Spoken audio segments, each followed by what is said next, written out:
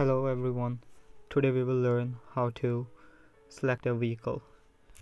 First thing what you're gonna do is put your ID and password. Press sign in. Very first screen which will appear after the signing in is select vehicle.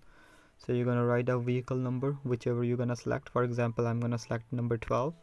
I'm gonna press it 12 and then it's gonna ask me confirm it. I'm gonna press confirm and the vehicle will be selected. Let's say I don't see number here and I'm gonna search my numbers. I'm gonna put here 12 let let it load.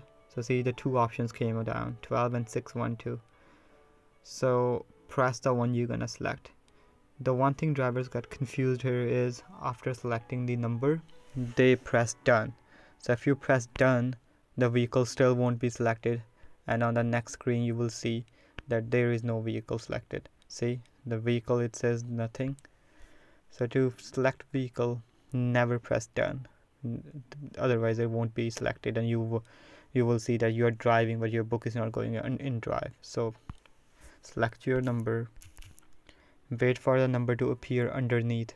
And once the number appear under the search button you press that number. So for example now i'm gonna select 12 i'm gonna press at 12 and I'm gonna press confirm.